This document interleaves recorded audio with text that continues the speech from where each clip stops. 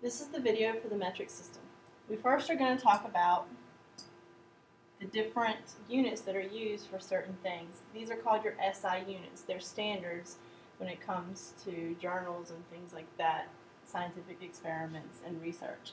So for instance, typically length is measured in meters, mass, which is how much something weighs, um, is going to be kilograms, time is seconds, heat and energy is joules. Uh, you're more familiar with the calorie, the joules is what's used. Temperature, you're more familiar with Fahrenheit or Celsius, but actually kelvins are used more often in, in science. And then the amount of substance uh, is a unit called moles. And it's not named after the animal or things like that. It's totally different from that.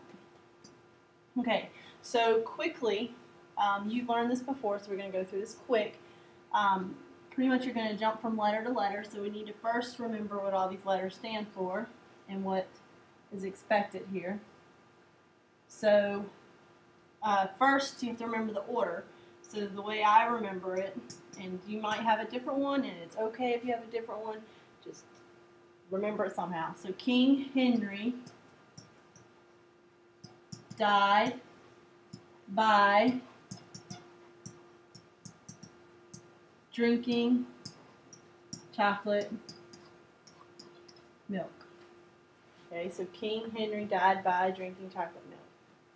Then you have to actually know what they actually stand for. So K is kilo, H is hecta, capital D is deca, B stands for base, grams, liters, or meters.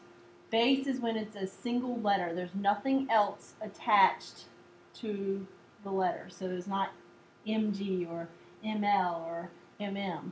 Okay, so base means single letter. Little d is deci.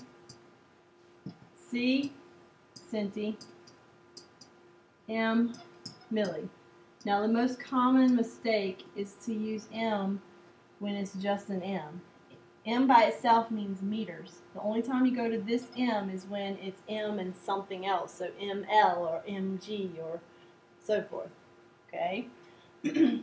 so pretty much what you're going to do is you're going to figure out your starting point and your ending point.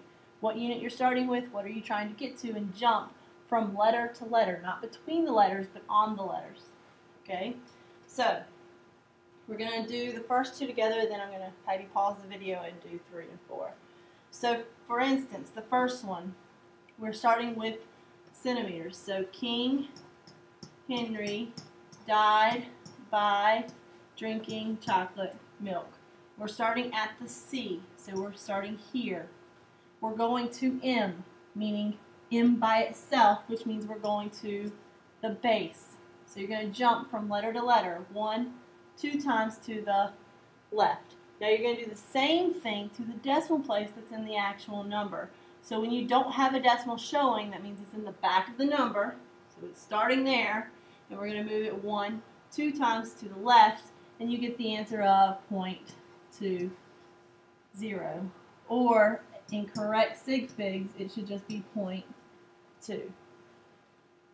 Okay, so the next one, King Henry died by drinking chocolate milk.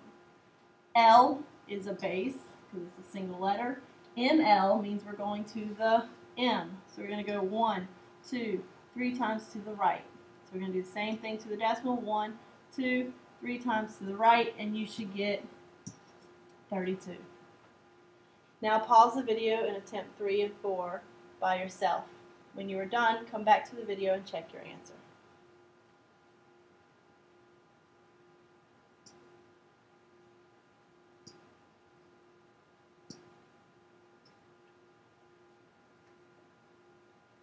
Please check your answer, and if you have any questions, bring them to class.